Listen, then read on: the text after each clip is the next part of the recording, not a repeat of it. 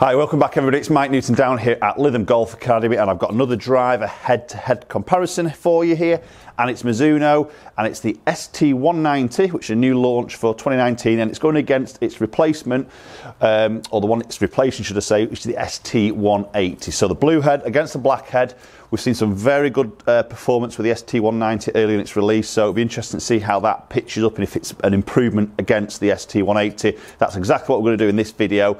GC2 HMT, obviously data will show you as always, and plus my personal feedback between the two drivers.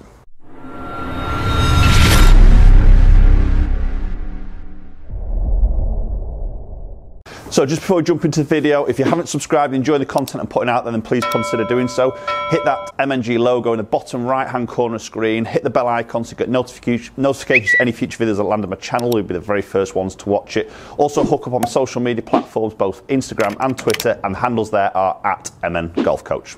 Okay, so we're going to start off with the ST180, which was the 2018 model. Obviously, that blue, striking blue head, which you either liked or you didn't like. I don't mind that, to be honest, but I much prefer the black finish that we see in the new uh, 190 version. But uh, when I did the review of this, I was quite impressed. Um, the spin number was pretty low, and it was a pretty decent performing driver. So we know Mizuno, maybe not the the the sort of at the top of the game in terms of the driver uh, development. You know, obviously we see uh, irons are, are superb from Mizuno, but drivers have never, never, really sort of made it to that top grade in terms of against maybe the bigger uh, driver manufacturers out there. But I think that is changing uh, from Mizuno with the ra- latest couple of releases, and I think this was the start of it. And I think obviously 190 from what we've seen early days is also uh, pretty good. So be interesting to see the comparison here. So as I say, got these both in the same shaft, both the same loft, so pretty much the same setup here, is identically the same. The two drivers here have got the weights at the back. Okay, and then um, obviously both got that wave technology in the sole of the club. Let's get this first one hit with the 180.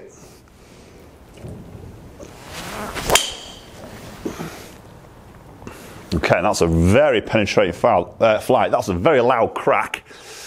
Came out pretty low there, but that's run out uh, just so 303. 163 ball speed, and that's spun at 2 2.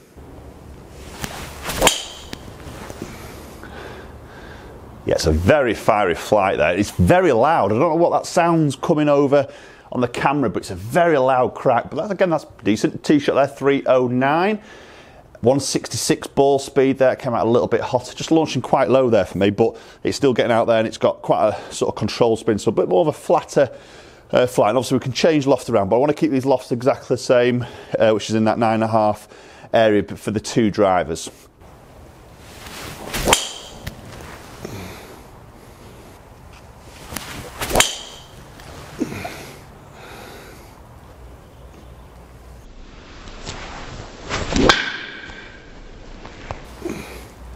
Ah, was a little bit low in the club face, but again, the flight flight was pretty pretty strong there.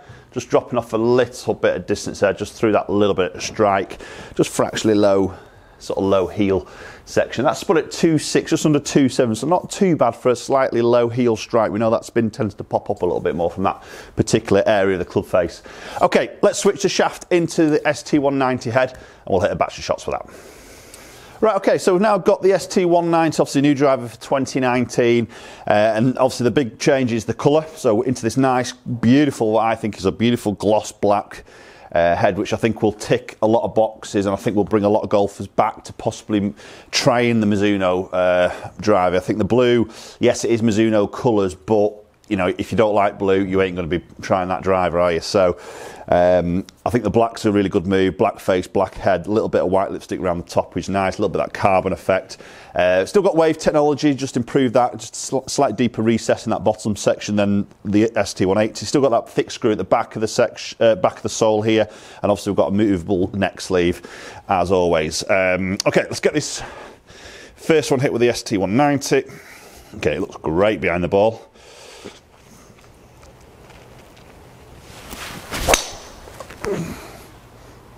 Yeah, it's a good hit straight away. The big difference there is the sound. Very different acoustics there against the 180. Much more quieter. That was quite loud. That 180 there is a very sort of tinny, hollow.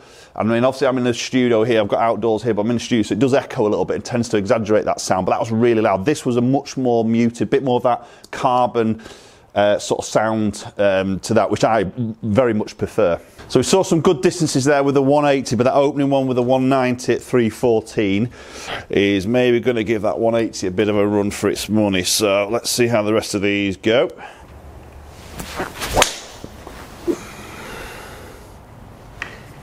Okay, that's another good solid hit. As I say, that sound is much, much improved for me personally, much more of a muted uh, sound. Obviously, looks for me, the black is so much better as well. So many of you commented on my some of my head-to-heads with the Mizuno and the ST190 and also the ST190G driver where they're a little bit concerned about the spin numbers being a bit too low. Now you've got to remember my club head speed is around the 115, 116 mile an hour mark, which is pretty quick, isn't it? So many of you guys might not be anywhere near that. You might be in that hundreds, uh, 80s, something like that. Like that. So yes, your argument to what you're sort of saying in the comments is that spin's too low for the, the normal club head speed of a golfer. But then that's you've got to remember I'm using a, a, you know a low spin shaft, low launch shaft, low loft weights in the in the G head more forward, uh, which is obviously going to create a lower spin, which I need. But I've got the speed to cope with that. So if I get that maybe that one that drops off on a slight high strike and might get a 1600, 1700 spin, yeah, I'll lose a little bit of length in terms of carry, but I know I'm going to get some run out and it's still a strong flight because I've got the speed to cope with it. So the guys who haven't got the speed, then obviously through a custom fit, you're going to go in a higher lofted head option. Uh, maybe those weights back in the G model, obviously maybe a different shaft, softer shaft. You've then got neck sleeve where you can add more loft and, and obviously change it around. So it's all about getting custom fitted. So don't take it from my reviews here and go and buy that and thinking, or, or go and try, or, or maybe even take it off your radar to try because the spin number's quite low. Obviously through a fitting, you can get that spin number dialed into what you sort of want. Obviously it's get the right launch as well, suiting into your speed in that right window. Okay, let's get a few more hits with the 190.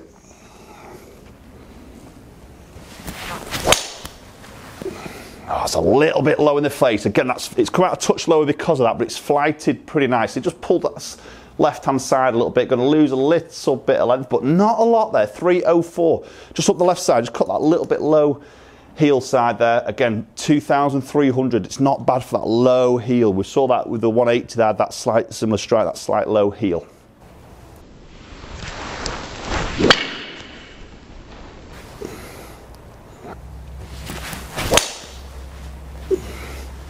Oh, just push out that right hand side, decent strike there, just pushed a little bit, just killed my dispersion. But again, it's another long ball for a right miss, 313. That's a good long hit, 168 ball speed. Right, okay, let's have a look at those numbers between the 180 against the 190. Okay, so 180 against 190. So look at club head speed there. So just under one mile an hour quicker with the 190. Not a lot in it, to be honest. Um, didn't feel that, to be fair, between those two uh, drivers. Uh, but just getting a little bit more speed there. So that's obviously just creating a little bit more ball speed with the 167 against 164. So a little bit hot off that club face. Obviously, some is to do with that club head speed gain there, as you've got to imagine. Launching very similar around that nine and a half mark. Obviously, like to get that average up a little bit more for me, but that tends to be my sort of number there. Um, spin exactly the same at 2,400 on average, peaking at pretty much the same, descending on the same 34 degree angle, which is pretty good when it comes into getting your maximum run out. Uh, ST180 at 278 carry against the 283. And obviously, that little bit of pickup on speed, possibly club head, and a little bit of ball speed is just giving me those few extra yards there, and a total of 304 against 310. So just looking at the dispersion rings between all those shots, I've hit five shots. So you see the white one was the ST180, which was quite a nice tight pattern. That last shot there with the 190s just killed me dispersion there because I just missed that up that right hand side more. Obviously that's a bit more me than the club itself really. But obviously five shots with each, you know, the 180, a little bit of a tighter dispersion, but obviously some slightly longer shots with the 190. Okay, guys, there we go. There's the 180 against the ST190. So two very, very similar performing drivers. 190 just sneaking a little bit there, maybe that little bit of extra speed. Spin numbers very much the same. Um, I think the biggest differences between those two for me is the looks and the sound and the feel. They're the big, real differences there. Obviously, the 180, that blue, uh, very tinny, loud acoustic sort of sounds. It sort of reminds me of a very Mizuno aren't going to like me saying this, but a very sort of cheap budget club. The sound of it just feels very tinny, very loud on its sound. Now, if, if you like that, that's that's entirely up to you. Into but me, it's just a bit too a bit too overpowering in a way. The 190, that muted sound, probably through that carbon mix a little bit more there, is, is so much more appealing. And again, sound we relate to a little bit with feel, don't we? So that sound and that feel um, just makes it a little bit more appealing to me. The black is a big box tick for me. It's such a better looking golf club. Uh, blue I didn't mind, but I think we'll see a lot more golfers try the 190 because of the colour change there. So post your comments down below. I'd love to hear your thoughts as always between the 180 and the 190. Um, have you got 180? Would you try 190? I'd love to hear your thoughts as always. So fire some comments down below. If you like the video, hit the like button, share the video around if you know any other Mizuno fans out there that you would um, think would be benefit from this video, share the video around. Obviously hit that subscribe button if you haven't done so already and hopefully we'll catch up with you all very soon.